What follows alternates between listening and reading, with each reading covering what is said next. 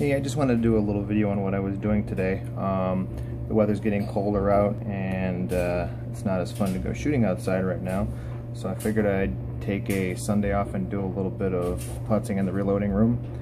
Um, what I'm reloading for, well, first of all, what I'm reloading, actually doing case forming.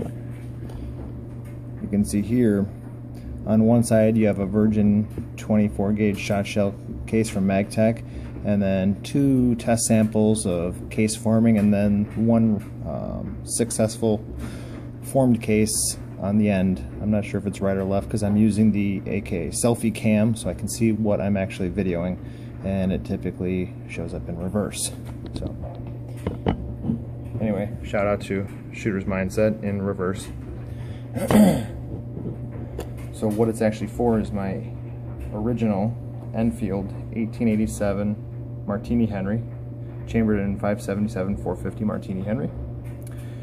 We can see on the buttstock here all of the cartouches. This is a um, Nepalese, um, this is from the Nepalese Cache from IMI. This is one that I refurbed on my own and it came out absolutely wonderful. You can see the uh, Royal Crown and the Enfield stamp and this is an original Enfield. The wood is actually beautiful. And um, so yeah, I'm gonna test for the case really quick and then do an end, end play test on it. This is the successful case. There's the stamp, actually 24 gauge, I'm sorry, not 28. I think I said 28. So it is a falling block design, so pull down on the lever, block falls exposing the chamber. Lighting kind of sucks.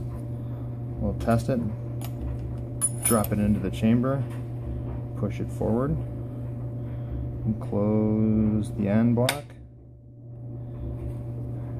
And then we're going to do an end play test, typically with just a piece of paper, which is about a thousandth and a half to two thousandths end play.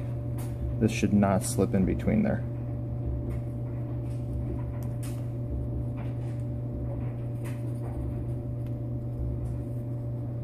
Eh, it does not, not even close. It's like hitting a brick wall. It's nice and tight. And you can actually feel when the end block rises, you can feel it rubbing on the case. And now let's see if it ejects. Um, the ejector will pop it out and it will ride up the ramp, the feed ramp to eject out.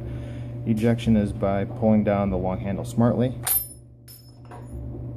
and it ejects. And that's that.